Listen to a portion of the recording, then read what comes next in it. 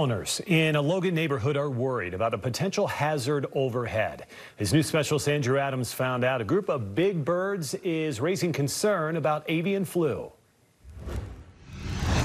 In the middle of Logan, the great outdoors is never far. Oh, I, I just, I, I love it. And it's always been a perk in this backyard. That's why I'm pretty much a hermit. Bruce Jorgensen says that was until some unexpected neighbors moved in.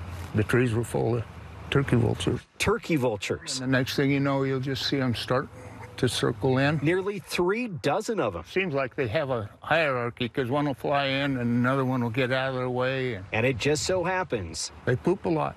And that's been a pain. This year, it's a biohazard. that's where the story of these birds starts to go south. It was just a week ago Friday.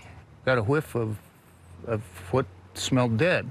And I looked over there and there was the dead bird. Two dead birds left him suspecting one big problem, Bird flu epidemic was going on. and the tests confirmed it. Yeah. Jorgensen was told everywhere these critters drop could be a source of infection. The health department says, you know, let it dry. Then every few days, wash it down. least you can disturb it, I guess, the better it is. Because turkey vultures are protected wildlife, the state says it can't remove them.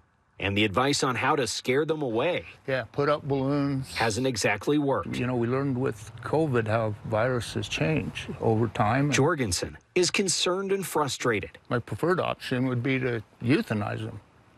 But I don't know that you can come downtown Logan and start shooting them. What these turkey vultures have done to his backyard Everywhere you look, there's poop stains. has been downright foul. And everywhere that they sit, they contaminate.